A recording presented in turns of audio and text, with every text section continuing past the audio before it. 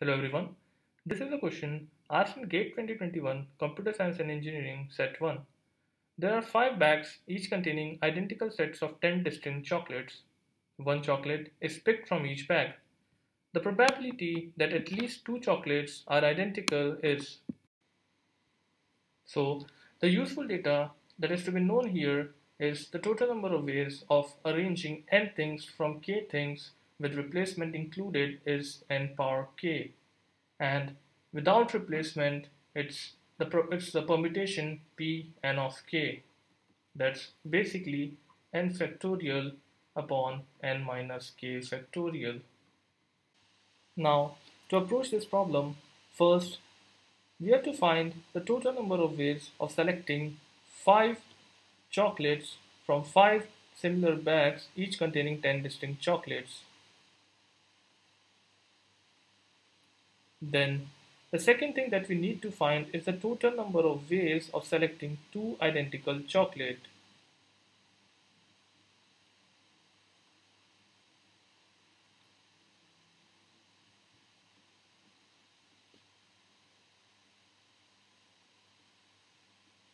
And the third is we have to divide 2 by 1 to get the required probability.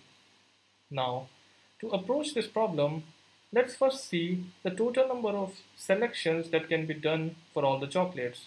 So we have five identical bags.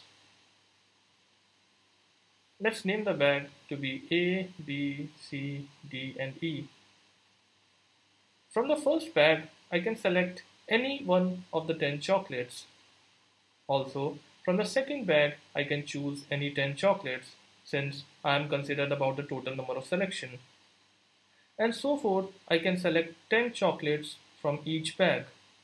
Now, this would give me the total number of ways of selecting 5 chocolates from 5 identical bags each containing 10 distinct chocolates, chocolates as 10 to the power 5. Now, this is the total number of ways of selecting 5 chocolates. Now, the number of ways in which we can select two, at least two identical chocolates can be thought of as the number of ways of selecting the number of chocolates which in which all chocolates are distinct. So if I, if I can find the total number of chocolates in which all chocolates are distinct and if I subtract it from the total number of ways of selecting all the chocolates then I would have a number which would correspond to the total number of ways of selecting two identical chocolates. So basically what the idea is, if we can find the number of ways of selecting all the distinct chocolates from each of these five bag and if I subtract it from the total number of ways, then the number which I would be getting would correspond to the total number of ways of selecting at least two identical chocolates. So let's go for it. So from the first bag, I can select 10 any anyone from the 10 chocolates. Now since I have to select a different chocolate from the second bag I am left with 9 options.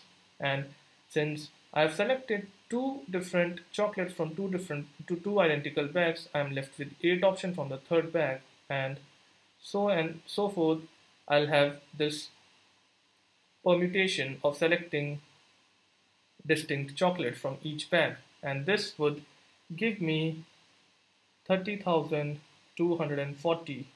So this is the number of way in which I can select distinct chocolates from the five bags. Now for the second part I have to select the total number of ways of selecting two identical chocolates. That would be the total number of ways of selecting five chocolates subtracted by the total number of ways of selecting five distinct chocolates and this would give me 69,000 760. Now, this is the total number of ways of selecting at least two distinct chocolates. Now, for the third part of the question, we have to find the probability of selecting two identical chocolates from the bags. That would be the total number of ways of selecting two distinct chocolates, two identical chocolates divided by the total number of ways. That's 10 power 5.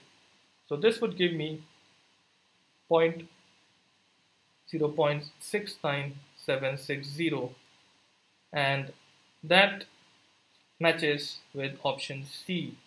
So option C 0 0.6976 is the right answer. Thank you.